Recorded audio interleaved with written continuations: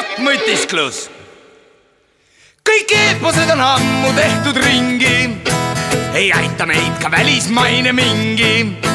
ei niibelungid, noore meda, raske rokiks teha seda, mis ei meeldi meie noortele. rokis meil on tarvis optimismi, tugevat, kuid siirast elurõõmu. puudub kodanlus ja aadel massikult, mis teistel maadel terveid rahvaid sandistanud on. Aga meil on aegumatu aare. Anton Hansen, kirjanik Tammsaare.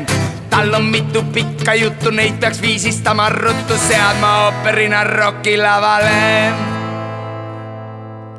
sõbra poiss võiks laulda tõde, õigust esitaks ta õde, sisu kokkuvõtet trükiks kavale veideks tüki roki kuningal on küll.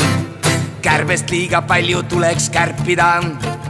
pöial poiss ka poleks paha, kuid kas sisse toob ta raha ning on karta, et ta tillukeseks jääb. ma tulen tagasi tõe ja õiguse juurde. tugev bariton võiks olla Andres Paas võluv tenor Pearu Muraka partiis.